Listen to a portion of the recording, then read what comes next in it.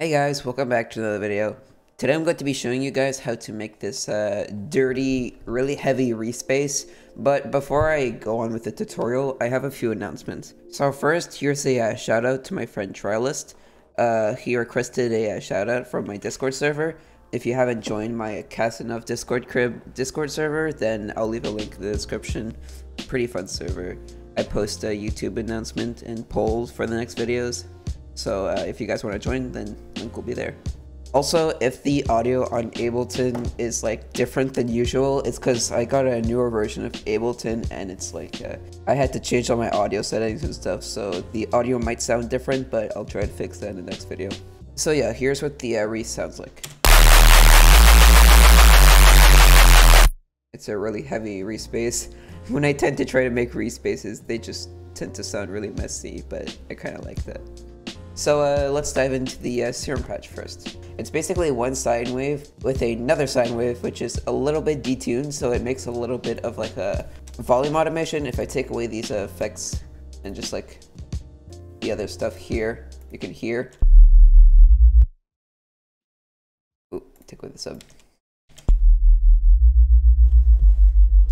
You can hear a little bit of a volume automation.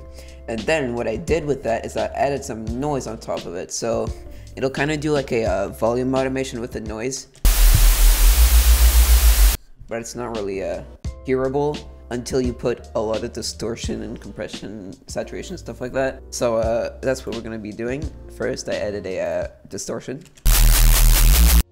And, and then instantly you get that, you know, famous modern race sound, so. Then I added a multi-band compressor. Should probably take away some of these mids. See, I'm doing changes even in the tutorial. Alright, next I added a pitch bend, as you can see by this automation here. Very simple stuff. And then here comes the uh, audio effects. There isn't that many audio effects that I put this time, just because I didn't want it to really process it too much. So uh, first I added an EQ, EQ with a notch to get rid of those uh, bad frequencies because these frequencies don't really need to be in a Reese bass, so I turned those down. Next I added an OTT.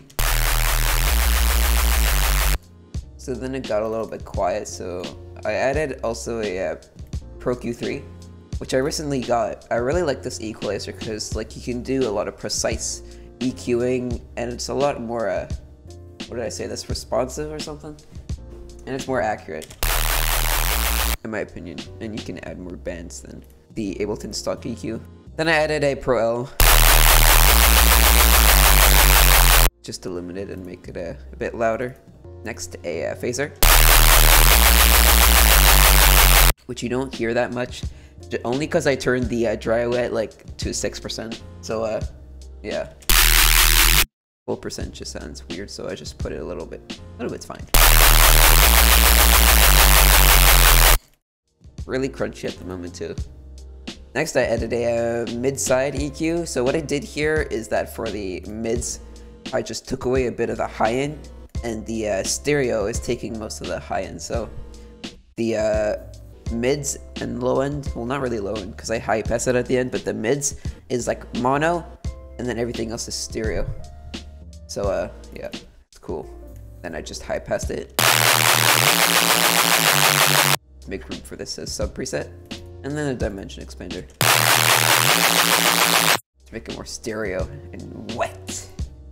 Alright, and then it's just the sub preset. Very simple stuff. Sine wave, automation. You know the drill. then the uh, famous uh, EQ bell, and then the uh, saturator. So this is what it sounds like. All of it. Pretty cool Reese bass. Might add into my sample pack. Really cool. So uh, yeah, that's. I know this is a bit of a short tutorial, but uh, if you liked it, uh, please leave a comment and like and subscribe. I really mean it a lot. We're trying to get to 400 subscribers.